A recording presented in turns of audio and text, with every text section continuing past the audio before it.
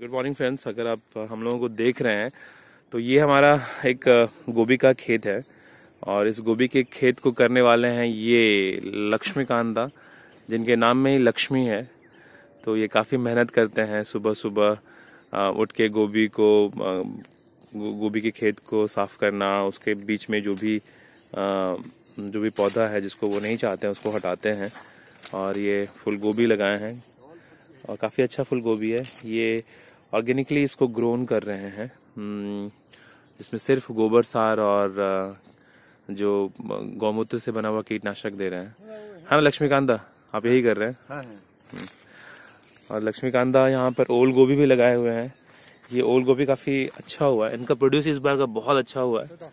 इस बार ये लगता है लक्ष्मी जी से भेंट करके आए हैं।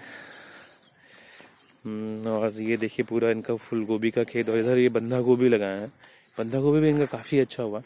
इनका सिर्फ़ फूल गोभी और बंधा गोभी का प्रोड्यूस है इस बार का।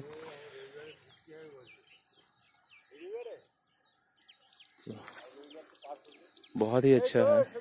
आपको इसी तरह हम लोग अपने जो किसान भाई लोग हैं, उनसे वेट करवाते रहेंगे, उनसे मिलाते रहेंगे, उनके परिश्रम के बारे में बताते रहेंगे। धन्यवाद।